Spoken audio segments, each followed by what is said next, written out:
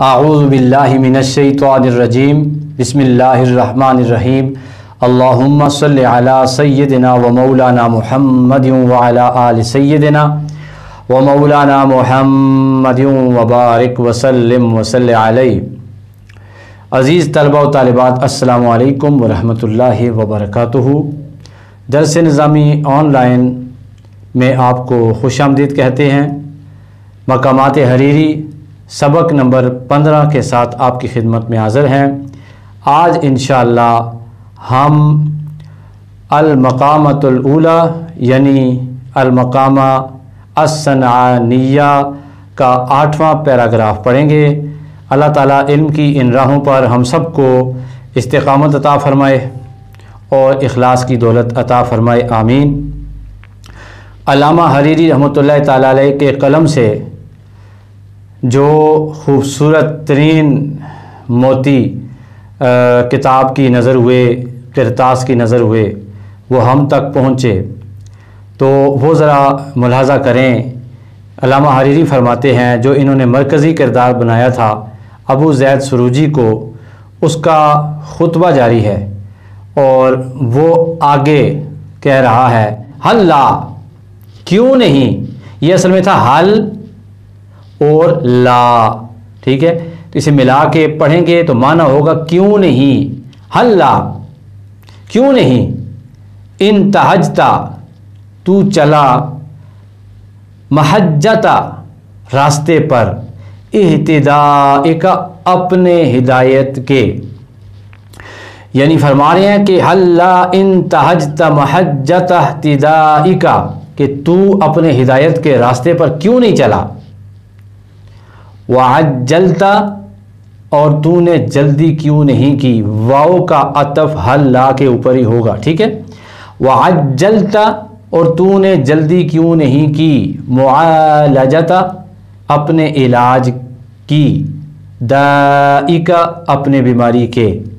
वजलता मुआलजता, दाइका, और तूने अपने बीमारी के इलाज में जल्दी क्यों नहीं की? पहला जो जुमला है, ये ख़त्म हो रहा है इहतदा और दूसरा जुमला ख़त्म हो रहा है दाइका। आइए तीसरा जुमला पढ़ते हैं। व फललता, और तूने क्यों कुंद नहीं की? ठीक है? वाओ का अतफ हल्ला के ऊपर होगा। ठीक है जी? असल में है, हल्ला फललता, तूने क्यों कुंद नहीं की? शबाता, धार। इतदा अपने जुल्म की, ठीक है? यानी अपने उस जुल्म की धार तूने क्यों कुंद नहीं की जो अपनी ज़ात पे कर रहा है, जो जुल्म दूसरों के साथ कर रहा है? वह कदा आता और तूने क्यों नहीं रोका? नफ्स का, अपने नफ्स को। फ़हिया अकबर आदा का हालाँकि ये जो नफ्स है, ये दुश्मनों में सबसे बड़ा दुश्मन है, तेरा। ठीक है जी?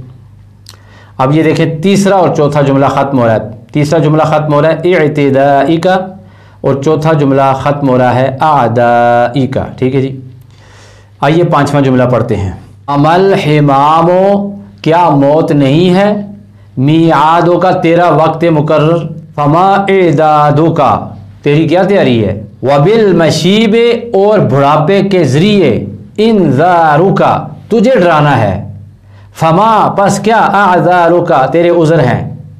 यानी ये जो बुढ़ापा है, इससे तो तुझे डराना है कि तूने मरना भी है।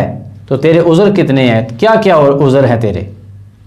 तो ये देखें, पांचवा जुमला ख़त्म हो रहा है एदादों का, और छठा जुमला ख़त्म हो रहा है, आज़ारों का। आइए सातवां और आठवां जुमला पढ़ते हैं। वफ़िल्लहद मकीलों का और लहद में तेरी ख्वाबगाह है। मकीलों का कैलूला तन से है, ठीक है जी? ये ख्वाबगाह, सोने की जगह। वफिल लहदी मकीलू का और कब्र में तेरी ख्वाबगाह है। फमा कीलो का तेरा क्या जवाब होगा? व मसीरों का और अल्लाह ही की तरफ़ तुझे लौटना है। फमन नसीरों का तेरा मददगार कौन होगा?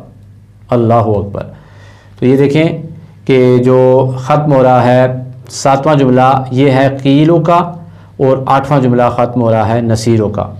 आज का सबक बहुत ही खूबसूरत सबक था कि हमें जो है अलामा हरीर रहमत ताली अच्छी अरबी के साथ साथ अच्छी आखरत भी सिखा रहे हैं, कब्र की फ़िक्र भी सिखा रहे हैं, कब्र की तैयारी की तरफ़ तरगीब भी दे रहे हैं। अल्लाह ताला हम सबको मौत की तैयारी की तोफ़ी कता फ़रमाए हम में जितनी कमियाँ हैं, अल्लाह दूर फरमाए। अगर हम कोई गुनाह या ज़्यादती कर रहे हैं, जुल्म कर रहे हैं अपनी जानों पर या दूसरों पर, अल्लाह उन सबसे, हम सबको रुकने की तोफ़ी कता फ़रमाए। सवाल लिख लीजिएगी। सवाल नंबर एक है कि इस पैराग्राफ का उर्दू तर्जुमा लिखिए।